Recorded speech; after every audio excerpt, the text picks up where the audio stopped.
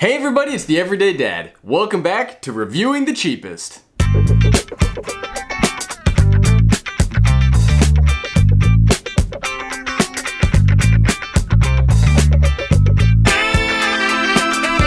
So here on Reviewing the Cheapest, if you're new to the channel, we go out and we scour the internet for the cheapest technology, bring it here, see if it's any good. Cause as technology marches along, there's a lot of tech out there that's pretty good. So what we got today is something that I did not go out and purchase specifically for this review. I've had this for a while and I realized last week, hey, that's actually the cheapest stabilized gimbal you can get. I think as we go forward as YouTube and these other platforms, Instagram, Facebook, all this video, nobody wants to see shaky video. Nobody. So what's gonna happen in my mind is these stabilizers, stabilized cameras, gimbals to stabilize your existing cameras, I think they're just gonna be more and more popular. So let's find out if the cheapest one you can get is worth any good. So the way I break it down here in reviewing the cheapest is I don't just find the random crap on the internet and present it to you. Though, if we're being 100% honest, some of these items have kind of turned into crap when they're like 12 bucks, I mean, that happens. But the rules of the road are I go to the website, this one's amazon.com. I type in what I'm looking for, stabilized gimbal. I sort price lowest to highest. I go through, there is some, sub, there is some subjective qualities to this. A lot of times when you go low price, they'll give you cables, cases, stuff like that. I don't want that. I want to bring you a stabilized gimbal. So you can see here, it was about, so I go through all that and then we end up with this stabilized gimbal which cost me $125. I actually just recently checked, that's what it still costs. So the gimbal we're talking about is the Zhiyun, the Zhiyun, the, the Zhiyun, the Z-H-I-U-N Smooth Q 3-axis stabilized gimbal. Now if you saw the last couple of vlogs, I talked about it because I've been trying to get some really stable shots for the vlog. So let's unbox it, get into it. It's actually pretty funny that it comes with almost nothing. it was really easy to hold on to everything and then unbox it because what you're gonna see is exactly what comes in the box. Let's check it out. So in this nice box, you get another box. I love boxes inside of boxes. You get the carrying case with everything you need in it and silica gel. We love silica gel. Don't eat it though. Hey, so real quick, just so you know, whether you like this gimbal or not, I want to warn you, it stinks when you take it out of the box. Like, I normally love how new tech smells. I love how new books smell the best, right? But this thing reeks. Like, even opening this back, I'd forgotten about it until I opened this back up, this box. I opened the box back up and I was like, man, that does not smell good. I'm not trying to say that to like warn you off the product, but just be warned, when you open this up, it could potentially stink. So we'll get rid of this box. So in that box is this carrying case, and I use this carrying case at all times when using the gimbal, because gimbals are pretty fragile. It comes with the gimbal, and it comes with the charging cable. Unboxing complete. Seriously, that's all that comes with it. So now that we got the unboxing out of the way, how good is this gimbal? What does it do? So I've had this gimbal for a while now, like maybe a month or two, and I actually filmed this trailer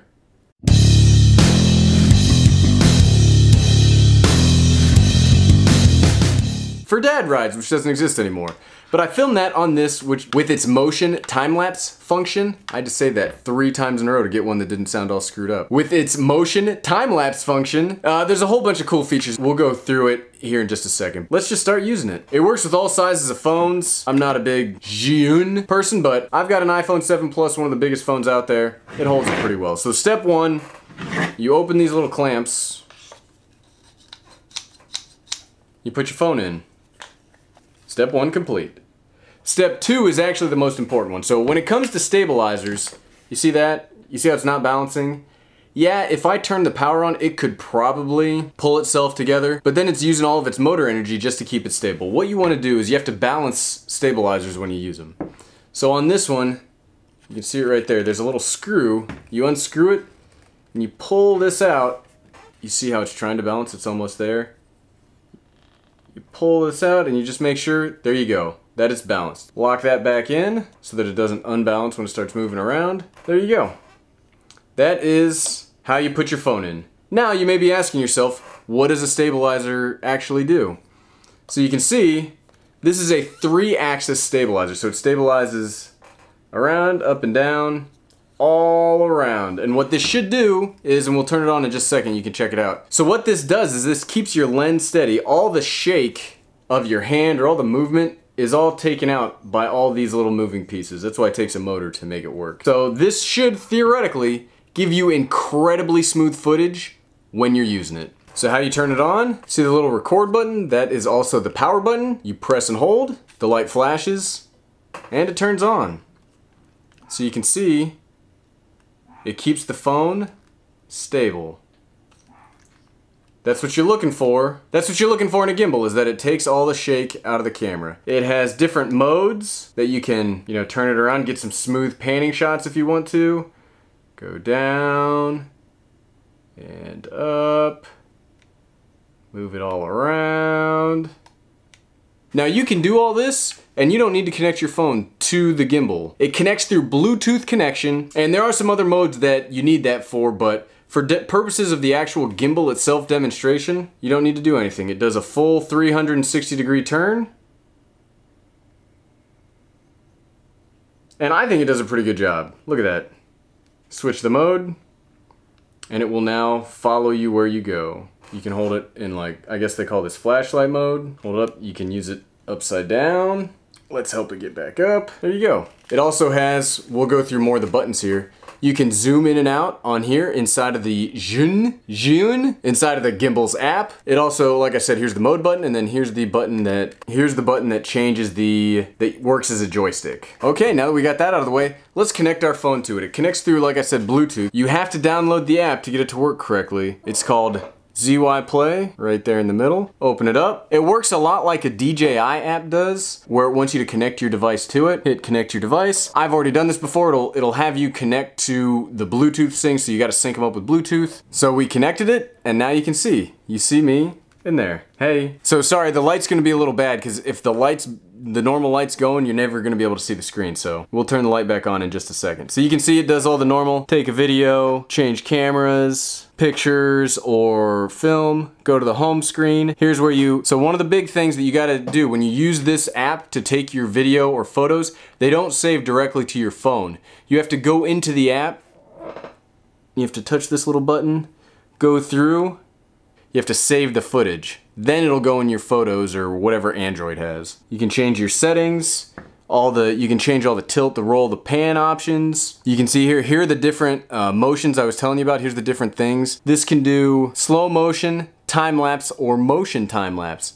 Any camera can do time lapse, but I really like the motion time lapse setting on this. I've got a, some sample footage, but here, here's how you do motion time lapse. So I just close it and I gotta redo it. So the way motion time lapse works is you open up motion time lapse, you click to take a picture. You move the gimbal somewhere else where you want it to end. So the first one is your starting point. This is your ending point. Take a picture and then start. You have to, it wants you to select your interval so you can do between 0.5 seconds and a lot of seconds. You can go all the way up like the interval of how often it takes a picture.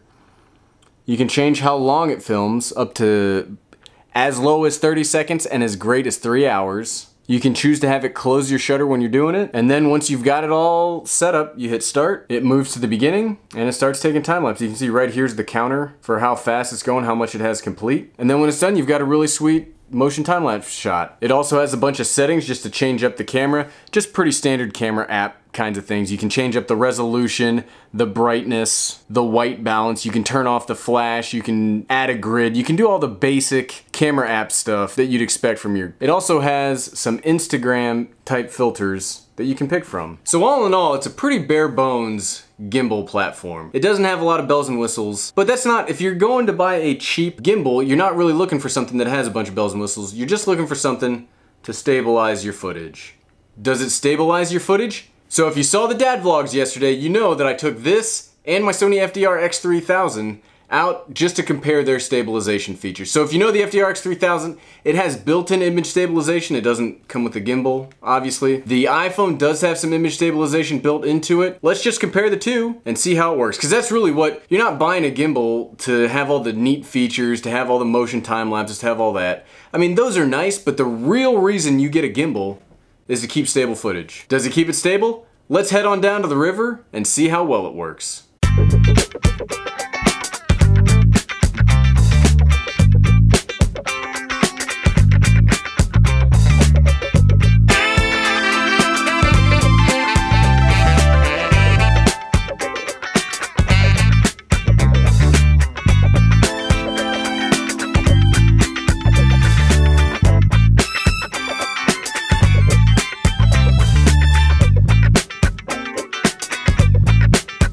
Welcome back. So anybody can tell you this stuff. You could see a million YouTube videos out there on gimbals and their relationship and how the iPhone deals with gimbals. If you've seen reviewing the cheapest before, you know what's coming. Should you buy it? Will I keep it? If you have an iPhone, I would tell you not to buy this gimbal. You saw in the video there's a lot of jelloing, there's a lot of issues between the iPhone stabilization and the gimbal stabilization. They kind of counteract or enhance each other, making the image stabilization actually unstable when you combine the two. When it comes to Samsung phones, I've seen some good stuff on it, or Android phones in general. Phones that have a locked camera, I would say this would be perfect for. I think you'd be able to get really stable footage. It if you use your phone as a primary camera, which I mainly use mine as a camera when I run out of storage on all my other things, you know what I'm talking about. If you have an iPhone, I don't think you should get this. There's too many issues. I don't think if you have an iPhone, I don't think you should get a cell phone gimbal period because there's nothing that's going to stop it's hardwired into the iPhone that the image stabilization works. You can't turn it off completely, no matter what app you download. So no, you should not get this. Will I keep it? Since I already bought it, I'm probably going to keep this. The main thing I use this for is the motion time lapse. It is an incredibly powerful tool. I've only used it twice now. But I'd like to get more time lapses in, and I think the motion time lapse, not only do time lapses show you something in time, I think this showing it in motion in time is one of the coolest things about this. It also has a tracking feature, kind of like the DJI Spark that I use, where if you track somebody, you can like drag a box over them and it'll follow them. It doesn't work very well. That's why I didn't even bother to show it, because I didn't even bother to show it because why waste your time? It does not work very well. Well, hey everybody, I'm the Everyday Dad. Thanks for watching Reviewing the Cheapest. The main reason I do these is because I just love reviewing the cheapest. It's so much fun to check out this cheap tech and share it with you guys because there are some gems out there. There are some gems out there. Unfortunately, we're having trouble finding them. Well, hey everybody, if this is your first time here, click that subscribe button down below. On this channel, we mainly focus on vlogging, tech reviews, all sorts of good stuff. I have a lot of fun with this channel. We do daily content now. Definitely click the subscribe button. Once you click that subscribe button, click the bell notification icon right next to it, or you could miss out on some of the awesome things we got going on here in the channel like the gimbal here. Half the fun of having a gimbal is just doing this and seeing the phone stay still. Look at that. I just think that's a lot of fun. It's now distracting me. Hey everybody, I'm the Everyday Dad. If I can figure out that this may not be the best to go with the iPhone 7, you can figure it out. Thanks for watching.